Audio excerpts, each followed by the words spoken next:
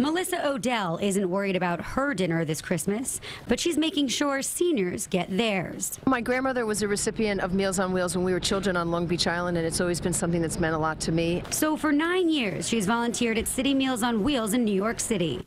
Each Christmas, they partner with 30 organizations throughout the Big Apple. By me getting up from my bed at 2 o'clock in the morning to come here makes me feel great.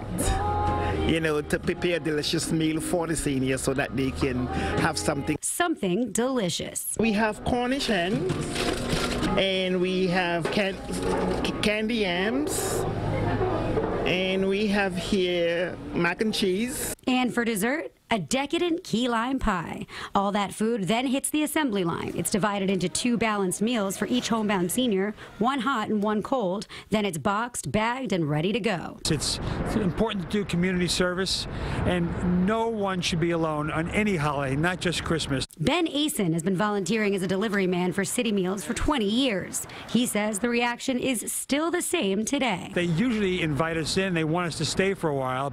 But like Santa, the selfless helpers at City Meals have lots of stops to make.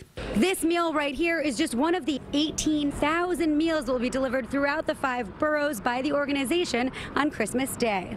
On the Upper East Side, Tara Jakeway, CBS 2 News.